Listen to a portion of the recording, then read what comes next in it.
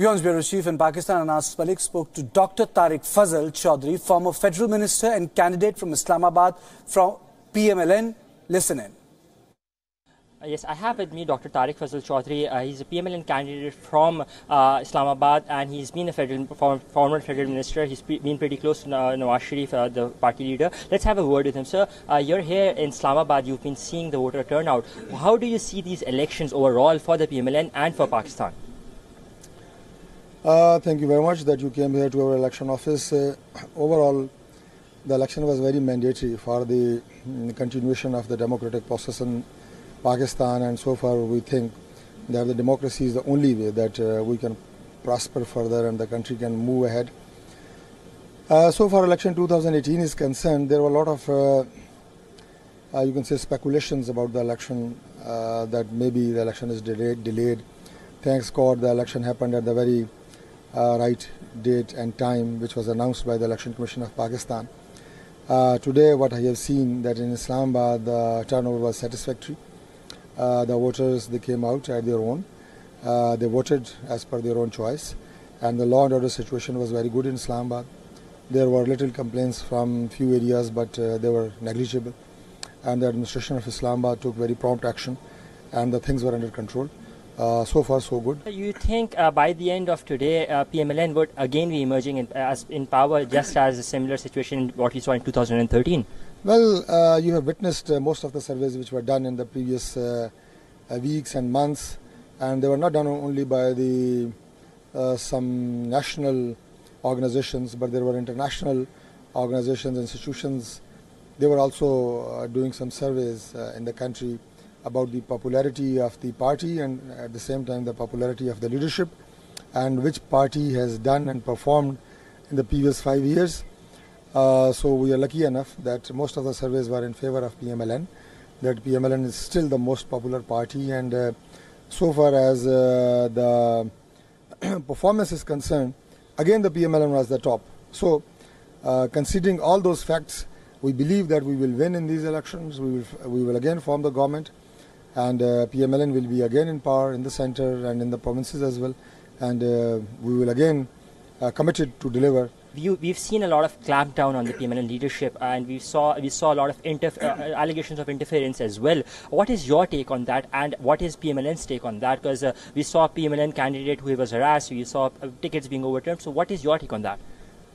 Well, these uh, all happenings were, I think, uh, shown by the media, and uh, I leave this topic and this subject to the media, the national media, the international media uh, we are we were in election campaign, and now today we are contesting elections. Uh, I hope that all these things which were uh, narrated, which were told, which were highlighted by the media, uh, the whole nation has seen that, and uh, I think after the elections, definitely there will be discussions on this. But I will leave it here today and with the hope that we will win, inshallah. So this election victory, if you all manage to, this is for Nawaz Sharif and to let your leader out, out of out of that Adiala jail, right?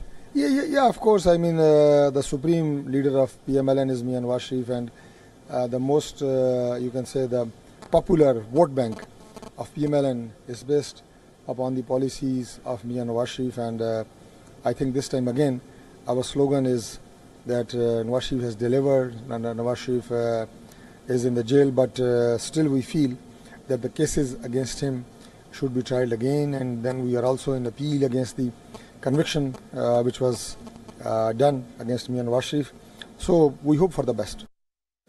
A major vaccination scandal has led to massive public outrage in China. China's State Drug Administration had put the country's leading pharmaceutical company for manufacturing low-quality vaccines. The Changsheng was found fabricating production records of the rabies vaccine. The police has detained 15 people, including the chairwoman of the Changsheng drug firm. Changsheng has also been slapped with a fine of over half a million dollar.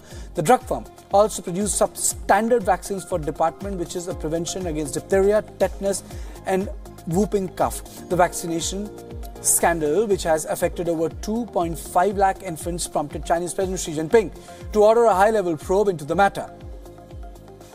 In the southeastern country of Laos, a dam collapse has killed 26 people and left 131 missing. Workers had noticed damage in the hydroelectric dam that was under construction in the Attapeu province on Sunday, the dam's fault lines eventually gave way on Monday morning, sending flash floods through six villages.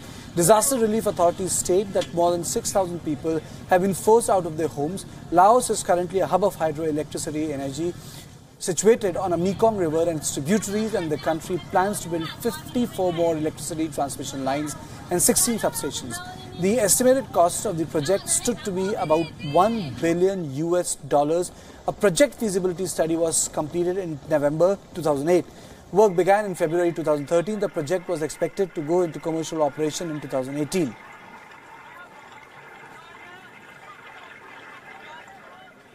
The Congress has indicated that the party is willing to sacrifice the position of Prime Minister candidate and the position to keep Prime Minister Narendra Modi away from power. It stems from the realization that only Congress-led alliance will not be enough to keep BJP at bay, uh, which means that uh, there is a possibility that uh, the Congress will end up supporting anyone from the regional parties. Congress itself is not very strong at the moment. In 2004, it managed to form a government with the support of the left parties. This time, in absence of such outside bloc, Congress will find it difficult to stake claim to power. It remains below 150 seats. Sensing that Congress may get below 150, party has thrown open the position of the Prime Minister to BJP, opposed to BJP, which includes smaller regional parties, in order to keep out the NDA out of power.